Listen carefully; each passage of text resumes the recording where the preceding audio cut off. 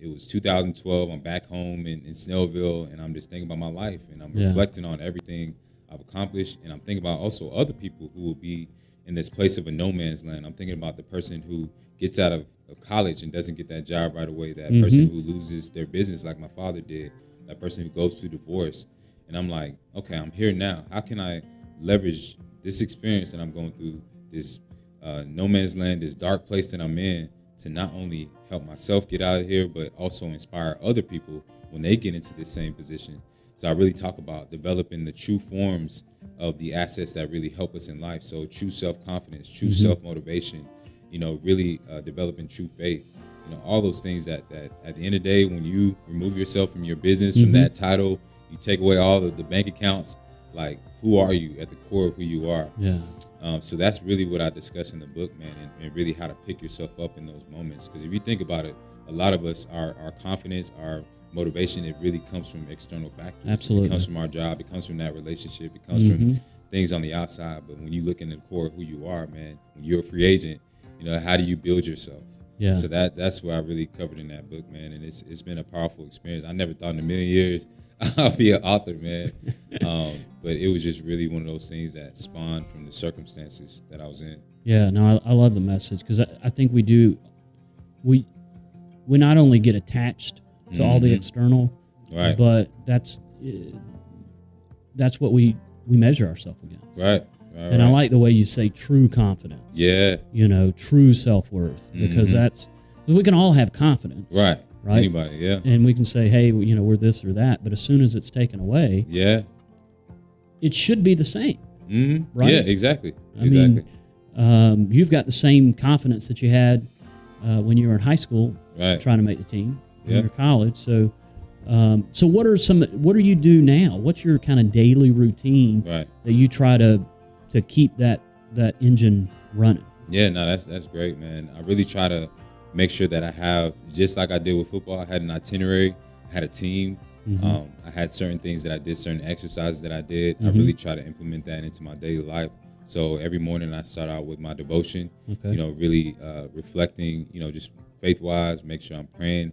Uh, second thing is I do some type of reflection where I'm journaling. Mm-hmm. You know, I make sure I do that. I make sure I'm keeping a log of uh, business wise the, Mhm. the wins that I've had, Mhm. the improvements that need to be made. So that's my that's really how I start my day is just setting my mind on like, okay, this is the win that I have, or my faith, uh, my reflecting on my journal of where I'm at.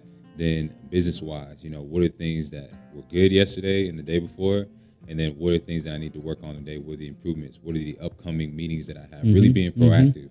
Um, I even sometimes do a SWOT analysis on myself. Okay. You know, probably once a month, I'm breaking down my strengths, weaknesses, my opportunities, my threats, uh, those things. And then after that, I really get into the gist of my day, which is, you know, having a business meeting like this, Mhm. you know, um, an interview.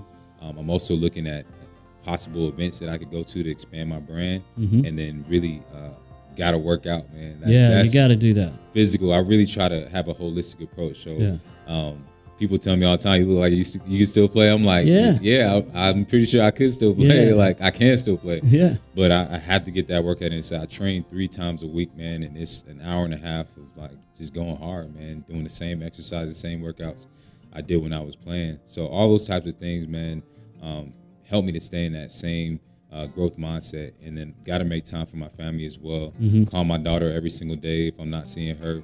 Um, really try to make time for relationships because I, I believe you can't like you can't just be one sided. Right. Especially as an entrepreneur, you can become consumed in your business and in Mhm. growth, and then you know the next thing.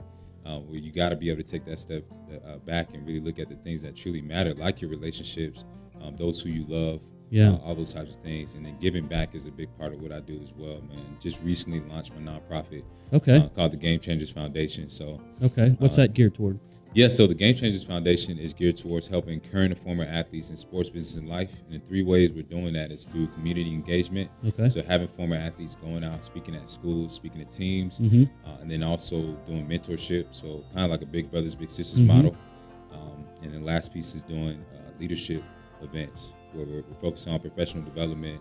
We're uh, covering things from financial literacy to mental health, helping uh, former guys get jobs who are going through transitions, Mhm. creating those partnerships with the corporates as well. So that's that's something I'm That's really really passionate about. Yeah. Yeah, I think that'll be good. Thank you.